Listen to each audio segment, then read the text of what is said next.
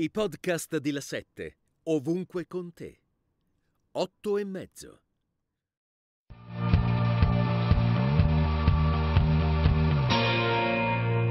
Buonasera, benvenuti a 8 e mezzo, buonasera, benvenuta Gianna Fracassi, eh, segretaria generale della CGL collegata con noi da Rimini. Buonasera Francesco Specchia, editorialista di Libero, buonasera, Stefano Feltri, direttore del quotidiano Domani e buonasera Antonio Padellaro, buonasera. editorialista del Fatto Quotidiano.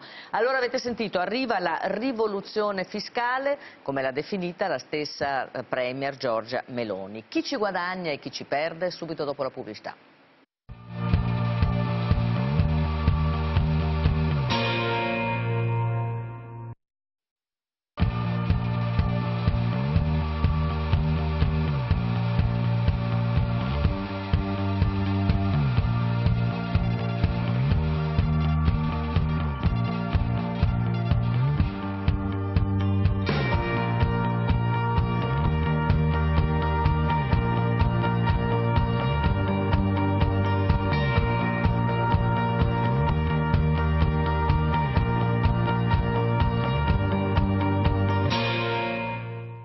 Gianna Fracassi, eh, prima l'ho presentata come segretaria generale della CGL, lei è vice segretaria, esatto. perché sennò avremmo spodestato Landini.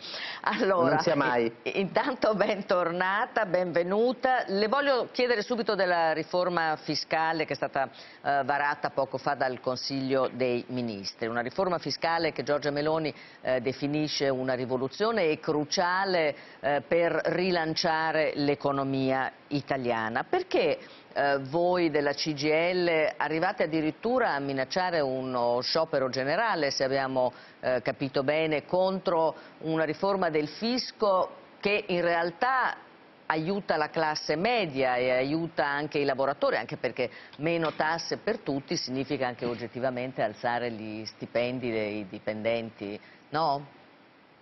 Ma guardi, in realtà perché la riteniamo eh, sbagliata nel metodo e nel merito. Nel metodo, come sa molto bene, noi siamo stati convocati a 48 ore da questa decisione, quindi eh, abbiamo avuto un'illustrazione dei principali contenuti della riforma fiscale, ma il giudizio che abbiamo dato non solo guardi come CGL, ma eh, posso dire eh, insieme a Cisle Will, che eh, i contenuti di questa riforma in realtà non tagliano le tasse a tutti, fanno un'operazione profondamente iniqua, perché se sarà confermata la riduzione delle tre aliquote e l'obiettivo finale della flat tax, in realtà si stanno facendo da un lato avvantaggiando i redditi più elevati e se si arrivasse all'obiettivo della flat tax c'è un piccolo problema. Due cioè, obiettivi siamo... confermati dal sì, Ministero sì. dell'Economia stasera. Esatto, eh, a parte che ci dovranno anche dire con quali risorse viene finanziata, perché non può essere... Ci arriviamo, ci arriviamo, però voglio solo chiederle, quindi voi se necessario farete uno sciopero generale se il governo non ritira la delega fiscale? Eh, perché adesso Guardi, è varata noi, la riforma, poi la, ci vorranno, ricordiamolo, 24 mesi naturalmente per attuare una riforma del fisco che è molto complicata ma i principi si comprendono già e quindi per quanto ci riguarda noi eh, insieme a CISL Will avvieremo su questo una mobilitazione nel Paese. Eh, non so se arriveremo allo sciopero generale, però le posso dire che sui temi fiscali insieme a CISL Will avvieremo una mobilitazione nel Paese. Non è accettabile che su temi che riguardano in modo prioritario, tra l'altro, lavoratori e pensionati, si faccia un'operazione che ha i tratti della iniquità oserei dire, e non Ma si no. faccia invece, non si dia allora. senso alla progressività contenuta in Costituzione e all'allargamento delle basi imponibili necessarie per rendere effettiva la progressività. Allora, eh, Francesco Specchia, ti vedevo eh, perplesso, a tratti di forte iniquità questa eh, riforma e eh, quando Landini dice Giorgia Meloni vuole un fisco amico, ma amico di chi si chiede il segretario generale della CGL? Amico di chi? Ma Lo guarda, a te. Amico di chi? Il, fisco amico è riferito ad una parte della, della, bozza che riguarda, che si chiama tax compliance, che in realtà è una cosa che già esiste, forse Landini lo ignora, ma glielo dico io tranquillamente, esiste già nel nostro ordinamento e riguarda praticamente un accordo tra il fisco e le grandi aziende con, in, con incassi e con fatturati superiori a 50 milioni di euro. La Coca-Cola si mette d'accordo, faccio un esempio, col fisco prima che tutto inizi, dice guarda dimmi cosa ti devo dare una volta che me l'hai detto non mi devi più rompere le scatole. E va perfettamente, in tutto, esiste in tutto il mondo, esiste anche in Italia. Non si fa altro che prendere quel modello e importarlo, esportarlo a, a, ai, ai, cittadini comuni, quindi si fa una sorta di compliance. E questo è il fisco amico, anche se io ho dei dubbi perché il fisco nei confronti dei cittadini e viceversa nutre sempre una certa diffidenza. Ma al di là di questo non vedo nell'atteggiamento di Landini se non una grande efficacia retorica e la sua capacità di mettersi estremamente in mostra, tant'è che sbarra e gli altri sono rimasti un po' bloccati da questa grande dire, personalità di Landini, per non usare altri termini, non vedo eh, quali sono i motivi effettivi, perché tecnicamente non ha spiegato nulla, con tutto il rispetto, perché la, tax, la, la flat tax è una ta flat tax per ora prevista incrementalmente sugli ultimi tre anni. In più, è vero che c'è il problema di bisogna tirare fuori la progressività, ma la progressività, come dicono tutti gli economisti, è già eh, compensata dal taglio di deduzione e detrazioni, tant'è che la flat tax già c'è è in voga adesso è, ed è la flat tax che attiene alle partite IVA oltre gli 80, 85 mila euro. Posso in rispondere? Qua, in, più è qua, in più e qua ti chiedo l'unica cosa, ecco, per esempio io non mi, non, non mi capacito di come, di, faccio, di come, i sindacati non, non si siano puntati sul fatto che non c'è una riga sullo statuto del contribuente. Lo statuto del contribuente è la vera legge che tutela il contribuente, una legge ordinaria che viene calpestata ogni giorno dall'Agenzia delle Entrate. Bisogna, bisognava elevarla al rango di costituzionale per evitare il caos tremendo delle, delle Allora, aspetta, Francesco, aspetta. Allora, do una, rapida, do una rapida replica a Gianna Fracassi, poi voglio sentire Feltri e Padellaro. A parte la sequela di insulti che il uh, dottor Specchi ha fatto nei confronti di Landini, mi sembra che Quali lei sia insulti? ossessionato dalla figura del segretario generale della Quali CGL, insulti? ma questo è un suo problema, eh, non è questo credo no, il tema un attimo lasciamo finire, se no non ci, se, non ci capiamo. Noi conosciamo benissimo, guardi, glielo assicuro, eh, i temi fiscali, anche quell'allargamento di quella ta tax compliance a cui faceva riferimento, in cui sostanzialmente si fa un accordo preventivo a prescindere dal esatto. ciclo economico, lei esatto. ovviamente lo saprà, quindi può aumentare eh. o diminuire eh. rispetto all'imposizione dovuta. Ecco, la, per noi questo rappresenta una sorta con questa forma di allargamento di condono preventivo, così l'abbiamo definito. Seconda questione, eh, quando abbiamo parlato di fisco amico amico a chi, stavamo ragionando del fatto che in, questo, in questa riforma fiscale non ci sono interventi efficaci, a parte uno, dovuto, che non, non, non l'hanno potuto cancellare, perché è uno degli obblighi del PNRR, sulla digitalizzazione. Il mm. tema dell'evasione fiscale, certo. del contrasto all'evasione fiscale, non è assolutamente affrontato nei termini dovuti in un mm. paese allora, che ha miliardi ma, di evasione. E qui c'è un'altra Vittore, amico di chi? allora, no, un attimo, voglio prima sentire Stefano Feltri e poi Padellaro. Allora, tanta carne al fuoco. Eh, ti voglio chiedere chi ci guadagna e chi ci rimette con questa eh, riforma eh, fiscale e eh, diciamo, riuscire ad arrivare a mettere meno tasse per tutti, flat tax per tutti, è un obiettivo ambizioso, ma è un obiettivo col quale non si può non essere d'accordo, no? Ma sì, diciamo, meno tasse per tutti eh, vuol dire che bisogna anche avere meno servizi per tutti o comunque meno spesa pubblica per tutti, perché poi in Italia esatto. gli sprechi sono sempre quelli che vanno nelle tasche degli altri, i beneficiari degli sprechi li considerano sempre imprescindibili. Certo. Ma eh, qui eh, il governo Meloni sta facendo una cosa, diciamo, abbastanza semplice, riporta l'Italia al 1971, cioè prima dell'introduzione dell'IRPEF e prima che tutto il sistema fiscale fosse improntato all'idea che i redditi dovevano essere tassati allo stesso modo a prescindere da, da dove fossero originati.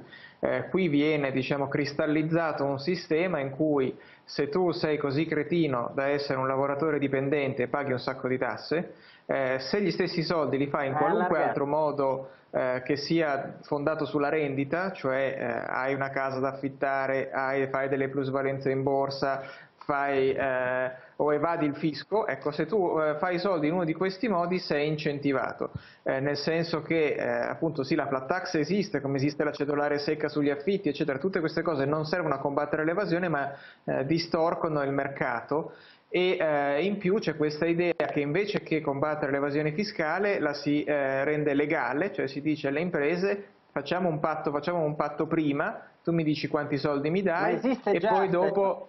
No, lo, non esiste già nei termini in cui lo vogliono fare, era stato un esperimento di Tremonti ah. del 2003 che poi non è stato diciamo, eh, reso strutturale e permanente. È il concetto della cooperative compliance riportata in Italia, ma non è così. Sì, sì, è il concetto che così ti do un incentivo a evadere prima, perché se evadi e non ti becco e poi facciamo l'accordo è un conto, e poi ti do un incentivo a continuare a evadere perché sostanzialmente ti dico che paghi meno tasse di quelle che dovresti. Quindi allora, è una logica, ecco. Una logica. Allora, no, un attimo, vorrei fare intervenire Antonio Padellaro, eh, perché eh, molti pensano che questa svolta quindi di fare una riforma fiscale, una svolta attesa da anni, eh, per esempio oggi pomeriggio a Sky il capo dell'ufficio delle entrate Ruffini ha detto che il fatto che questa riforma venga annunciata e si cominci a metterla in opera all'inizio della legislatura è un buon segno,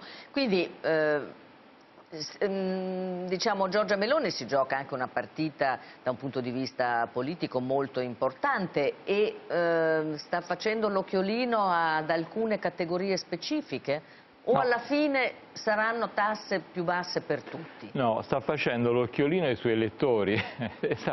la, la traiettoria, lo diciamo in soldoni, da, da, quando la Meloni è al governo, eh, diciamo, i, titoli, i, titoli, di apertura dei giornali sono stati la rottamazione delle, delle, dei tributi dovuti, eh, abbiamo il perdono agli evasori, perché c'è anche questa, no, a proposito di evasione, l'unico intervento che è stato fatto è quello del perdono all'evasione Punto finale è la flat tax che è contrasto, l'ha detto la Fracassi benissimo, in contrasto palese con la Costituzione che, che prevede tutt'altro. Ora, è già in vigore Antonio? È già in vigore la flat tax, ti ricordo. Quindi sì, io già... sto parlando della flat tax applicata alla, ai, ai, al, sì, però scusami, abbi pazienza, Vabbè, eh, scusami, arrivo per ultimo Dammi, ragione, dammi la possibilità di esprimere un solo concetto. Il solo concetto è questo, che la Meloni in questo è chiarissima, cioè è trasparente, c'è una parte del paese che a lei non interessa dal punto di vista, vede, sì, più, meno tasse per tutti la vedremo, lo, credo di averla già sentita questa cosa di meno tasse per tutti, l'abbiamo già sentita, c'è una parte del paese per il quale è previsto, eh, il, il, è, previsto la, il taglio invece del reddito di cittadinanza. Quindi dobbiamo vedere un, un quadro complessivo dove gli elettori della Meloni che sono cospicui in questo paese, le imprese eccetera, avranno dei benefici. Beh, ma non solo le imprese, no? Ci sono... Sì, ma anche, anche, i una... redditi medio-alti, vogliamo dire questo, e poi invece c'è una parte del paese che, eh, come diceva anche Stefano Feltri, chi, chi, che il, il lavoro chi lavora a reddito, chi ha un reddito fisso e comunque è, non ha... Allora qui la domanda è questa, la, la, Giorgia Meloni è una donna molto coraggiosa, ma ci vuole un bel coraggio ad andare domani al congresso della CGL con questo di programma. Eh già, perché domani eh, Gianna Fracassi eh, verrà lì da voi a Rimini, alla CGL, al vostro congresso, la Premier Giorgia Meloni.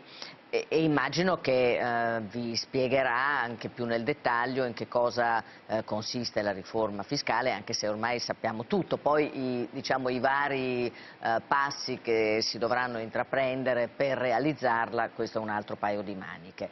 Che cosa si aspetta Giorgia Meloni da questo suo intervento domani alla CGL e i vostri delegati, tra i quali c'è già un po' di malumore per l'arrivo della Meloni, che cosa si aspettano? Ma quello che si aspetta Giorgia Meloni eh, non lo so, eh, francamente.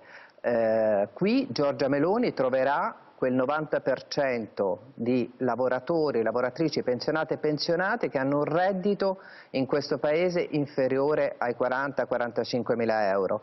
Eh, lo voglio ribadire perché eh, dobbiamo avere questo punto di partenza prima di parlare di come dire, riduzione delle tasse per il, per il lavoro dipendente e per i pensionati. L'85% stanno sotto i 35 mila euro lordi. Allora a questa platea, che è sostanzialmente la platea che domani incontrerà il Presidente del Consiglio, Giorgia Meloni dovrà spiegare quali sono i vantaggi della riforma fiscale dovrà spiegare per esempio perché rispetto all'obiettivo della riduzione del cuneo contributivo questa legge delega non fa menzione, dovrà spiegare perché rispetto a un intervento eh, come il fiscal drag per dare risposte sul versante del costo della vita il governo sostanzialmente non ha dato alcuna risposta né in legge di bilancio né tantomeno negli interventi che si stanno mettendo in campo.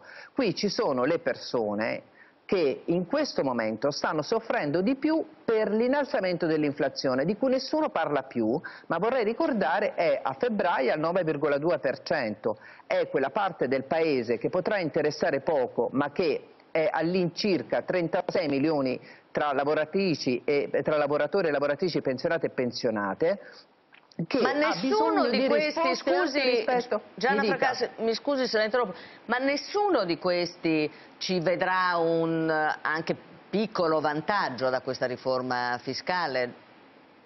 Guardi, eh, il piccolo vantaggio, e stiamo parlando veramente poi quando conosceremo i dettagli, perché noi stiamo discutendo tra l'altro di, di, un intervento normativo complesso di cui non conosciamo oh. i dettagli, per esempio non conosciamo quali sono le tre aliquote che vogliono mettere in campo. Certo. Eh? È chiaro? Quindi il piccolo vantaggio che ci può essere, stiamo parlando veramente di pochi euro, sarà assolutamente superato dai sacrifici perché come ho detto c'è un tema di cui nessuno parla ma è ineludibile, quali risorse, con quali risorse si finanzia una riduzione molto eh, diciamo forte sul versante dei redditi alti e aggiungo anche sulle imprese in cui si fa un'operazione di riduzione dell'IRES di molti punti se finalizzata a una condizionalità occupazionale che è assolutamente importante, ma anche all'innovazione, tra cui anche gli interventi su 4.0. Certo. Quindi tutte queste cose non sono gratuite, qualcuno le deve pagare. Qualcuno, ecco, Chi le paga ma... con quali risorse? Ecco, ad oggi questo è un mistero. Ecco, ma eh, scusi eh, Gianna Fracassi, adesso infatti questo è l'altro punto centrale,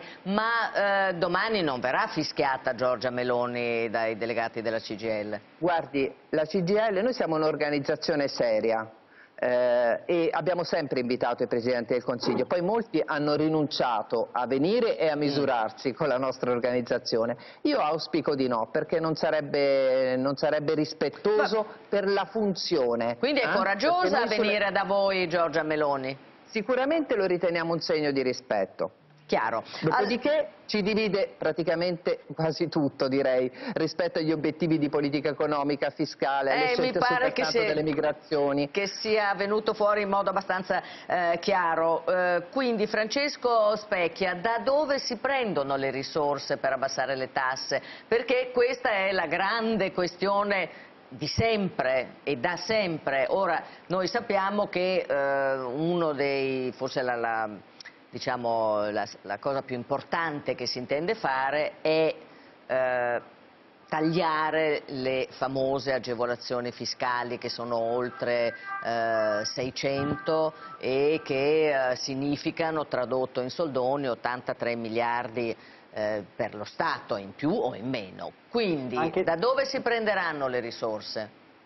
No, anche di più, si arriva quasi a 156 miliardi sulle tax expenditure, ma è, però le, le, ecco, questa è l'unica cosa su cui mi permetto di, di avere qualche dubbio mi avvicino un po' a, a, alle eccezioni di Stefano Feltri e della dottoressa Fracassi. Il, il fatto delle tax expenditure, cioè il taglio famoso degli sconti fiscali, è una leggenda metropolitana che si tramanda di anni in anni, secoli in secoli, in tutti i governi. Sono 156 miliardi adesso, ma possono essere anche di più, 600. Cioè, il problema è che ciascuna di queste riforme, di queste tasse, di questi sconti, tocca una lobby, una corporazione, un'associazione che va dai sindacati a Confindustria, dalle case farmaceutiche ai giornalisti, dai traghettatori del lago di Como ai cinematografari chiunque ha una, uno, uno, sconto fiscale.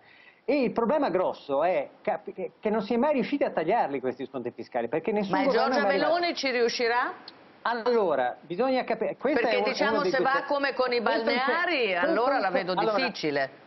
Eh, qua però tu hai gioco facile perché io la penso come te sui balneari. Io dico che i balneari tengono in scacco con 30.000 persone, tengono in scacco 7 milioni di elettori della Meloni e quindi secondo me è giusto applicare la Bolkestein. Quindi è, da liberale è gioco facile. Però ti devo dire che i due, ritornando a quel discorso, i due cespi, cioè da dove prendi i soldi sono le, le tax expenditure e io spero che qualcosa si risolva a, a costo di usare le detrazioni fiscali detrazione e deduzioni fiscali, quindi sconti, e poi, poi abbiamo invece la lotta al, all'evasione fiscale che eh, in questo momento noi eh, si, si, è calcolata circa 99 miliardi, cioè noi abbiamo, abbiamo un nero mm. di circa 130-140 miliardi, è un, è un tax gap, cioè eh, l'accertato, la differenza tra l'accertato e l'escluso di 99 allora, miliardi. Sì. Potremmo eh. agire su queste, su Poi anche lì, e me mi direte, non l'ha fatto nessuno. È vero. Bene, sì. beh, beh, vabbè, ma quello non no, vuol dire niente, no, no, magari da, lo farà. Dalle cose interessanti che diceva Specchia viene un dubbio, viene il dubbio che siamo anche di fronte alle famose armi di distrazione di massa, cioè abbiamo una delega fiscale che avrà i tempi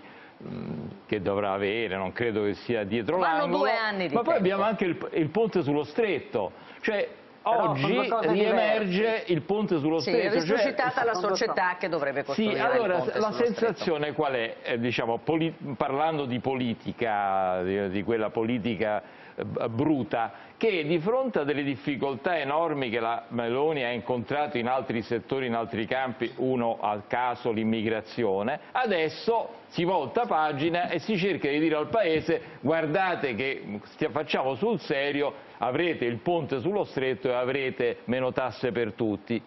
Ho mm. l'impressione, ma sulla base di quello che diceva eh, Specchia, mh, mm, che sia un po' allora, per aria, sia un po' astrattezze. Allora, no, aspetta, Francesco, non, non voglio sentire Stefano Feltri. No, restiamo un attimo sulla questione fondamentale delle risorse sì. e della lotta all'evasione fiscale che eh, come sappiamo è un annosissimo eh, problema del nostro Paese. Tu ehm, Stefano hai scritto che Giorgia Meloni mente sull'evasione fiscale e conferma la sua ignoranza in economia.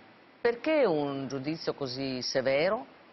Beh, è un fatto, non è un'opinione. Cioè, lei è andata in Parlamento e ha detto che la lotta all'evasione fiscale non si è mai fatta, che dati alla mano non sembra aver avuto grandi effetti. Ora, le è andata male perché il 2022 è stato l'anno con il record del recupero di gettito dalla lotta all'evasione fiscale, cioè oltre 20 miliardi di euro. E quindi? E tutte le, e tutte le misure eh, che la destra ha osteggiato in, eh, in, questi anni, lo split payment, la fatturazione elettronica, cose che sono enormi seccature ma sono serviti, hanno ridotto pesantemente il eh, tax gap, cioè l'evasione fiscale in questi anni, cioè da 106 miliardi a 89. Quindi lei è andata in Parlamento a dire che l'evasione fiscale non funziona, invece funziona, il problema è che lei non la vuole fare perché la sua idea di lotta all'evasione fiscale è di fare i condoni e darla vinta agli evasori. Ma eh, se uno sentiva tutto il suo question time di ieri eh, si aveva la percezione che lei non aveva alcuna idea di cosa eh, parlava sui dossier economici, cioè per esempio no. ha spiegato che l'Italia non vuole usare il MES eh, e che invece sarebbe meglio usarlo per fare le cose che dice Confindustria quando la domanda era sulla eh, ratifica del trattato che lo modifica, non sull'uso del MES, cioè che il fondo salva Però Giorgetti, scusami Stefano Feltri, Giorgetti stasera, scusa, Giorgetti stasera ha detto che comunque verrà fatta anche una spending review, che è un altro di quei ah, temi sì, sì. annosi. Vabbè, viene da ridere, cioè non... ma come fanno a fare la spending review un governo che appunto preserva qualunque eh, eh, qualunque privilegio di categoria, cioè il tagliare, eh, sa, sa, fare solo i tagli orizzontali ai poveracci e poi se ne vergogna pure perché Posso? come ho raccontato allora, in un articolo specchia. il Ministero di Giorgetti mente anche e dice che non aumenta la disuguaglianza perché trucca, trucca i numeri per dire che le, le, sue misure sono di destra ma non fanno peggiorare la disuguaglianza, sono veramente ridicoli. Stefano Specchia, vedevo che... No, no, no allora io dico, uh, non, so, non, ho la, la, la, la postanza economica del collega Feltri che, che, ha fatto i Chicago Boys con Zingales, io purtroppo ho, de, ho una, una, una, concezione più giuridica del metodo, però quello che mi domando è che se, prescindendo dal MES la penso assolutamente come te, si deve ratificare, ma questo è un altro discorso. Se fosse davvero così ignorante, perché i mercati reagiscono comprandoci 10 miliardi di titoli di Stato in quattro giorni. Il nostro Sai perché? Perché stanno fallendo le banche, quando falliscono finire, le banche fammi, si comprano titoli fammi, di Stato. No, no, dopo, queste li abbiamo comprati prima i titoli di Stato e nella, e nella, mandata precedente abbiamo fatto 3 miliardi in 48 ore, quindi non è vero. E te, mm. tieni conto che la BCE non può più comprare titoli, quindi c'è un, un alto indice di fiducia più del 20%, più del 20 nell'imprenditoria, alto indice di fiducia nella, nella, Meloni e soprattutto ci sono export all'8,8, il, il PIL, crescita del PIL al 10,5 al netto dell'inflazione e poi abbiamo tutta una serie di performance legate, come sai perfettamente, lo sa meglio di me perché sei un maestro in questo, quindi le performance legate al, alla nostra manifattura che è superiore addirittura a quella della Germania. Quindi in questo senso mm. noi in questo momento abbiamo tutti i parametri economici superiori a quelli degli altri.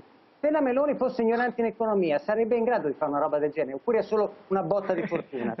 La Meloni è arrivata dopo il governo Draghi che ha lasciato delle cose Bravo, impostate recentemente sol- e dopo eh, una fase sol- in cui sono stati spesi eh, soldi per la ripresa come in tutti i paesi. Certo, Guarda certo. caso, se vuoi vedere diversamente, qual è il titolo di Stato che è più colpito quando c'è una crisi di fiducia? Quello italiano. Il fatto che l'Italia non sia ancora ma fallita perché c'è il listino è bancari, segno, certo, ma io non dico che la Meloni fa fallire l'Italia, dico che non capisce niente di economia, è una cosa L'Italia c'ha il 30% di listino di bancari, non ci prendiamo in giro, non lo venire a me. È ovvio che viene colpita sui titoli bancari, perché ci sono bancari e gli energetici. Di cosa stiamo parlando? Allora, Noi stiamo una... parlando di 20 miliardi che eh, le, le, le, i contribuenti hanno preso. I piccoli allora, hanno investito la Meloni non sa niente di economia, le hanno chiesto cosa pensa del rialzo dei tassi della ah, BCE e lei ah, ha ma... detto che il super bonus edilizio è cattivo, cioè questo è il livello allora, di quella è una bandierina ideologica. Un attimo Antonio Padellaro, no, aspetta io, Francesco, Io volevo approfittare della presenza del, del, di un personaggio al vertice della CGL No, per chiedere se oh, in queste ore in Francia sta succedendo una mezza rivoluzione per, ehm, che il, il, governo Macron ha, ha, fatto approvare d'imperio la riforma delle pensioni. Io volevo capire dal, dal termometro che avete voi eh, qual è il livello della, diciamo, delle tensioni sociali nel nostro Paese, anche alla luce delle cose di cui stiamo parlando. Fracassi? Ma guardi, c'è sicuramente una grande sofferenza dal punto di vista diciamo, economico dalle persone perché i mesi che abbiamo alle spalle sono stati durissimi e di fronte a noi, come eh, sappiamo, abbiamo ancora un, un, aumento, un, un, costo della vita molto elevato, perché la, quando aumenta l'inflazione poi per abbassarla non, non c'è un interruttore, quindi ce l'ha detto l'Istat giusto pochi giorni fa, la coda dell'inflazione sarà molto lunga, quindi questo è un elemento sicuramente di grandissima difficoltà. Ci sono una serie di crisi aziendali non risolte, e questo è l'altro tema, alla luce del fatto che di fronte a noi, eh, a proposito di politiche economiche e di cosa si deve fare, abbiamo la necessità di mettere in campo rapidamente, anche come Paese, non solo a livello europeo, una politica industriale che sappia cogliere delle trasformazioni che rischiano altrimenti, se non governate, di determinare una deindustrializzazione del Paese. Allora, su questi temi eh, e su molti altri eh, c'è una dire, sottovalutazione, eh, devo dire piuttosto generalizzata, eh, e però il rischio è che di fronte a questo quadro noi in qualche modo arretriamo. Chiaro. Penso ad alcune filiere, dall'automotive, anche la stessa filiera energetica, tutto l'indotto. Ecco, se noi non ci raccordiamo con quanto sta accadendo nel resto dell'Europa, rischiamo di avere un impatto pesantissimo sull'occupazione e queste Chiaro. cose non si possono fare tra un anno, le dobbiamo fare adesso. Possiamo farle subito, sicuramente. Del PNRR. Allora, no, io adesso vi eh voglio no, far vedere prego. il punto di Paolo Pagliaro perché oggi il Consiglio dei Ministri si è occupato anche dell'autonomia differenziata che avrà un impatto forte anche sulla sanità, sulla sanità pubblica. Guardate.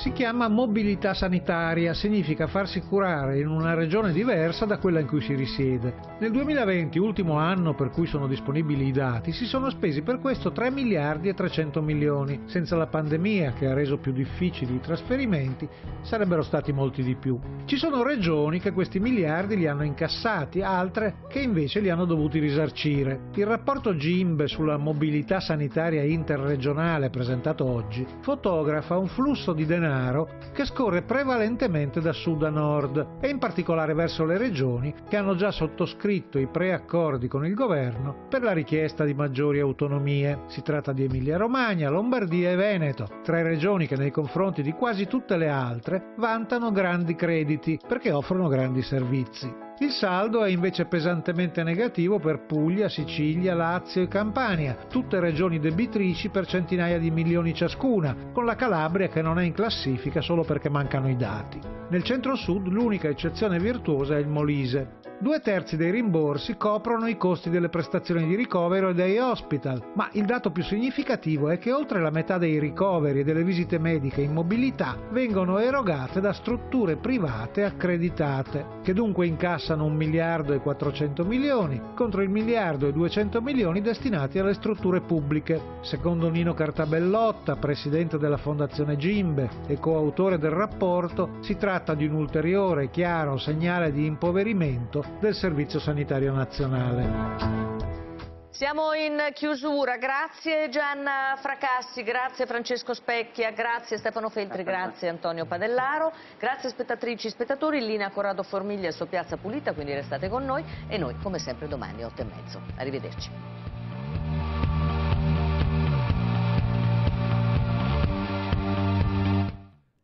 Grazie per l'ascolto. Tutti i podcast di La 7 sono disponibili su www.la7.it slash podcast.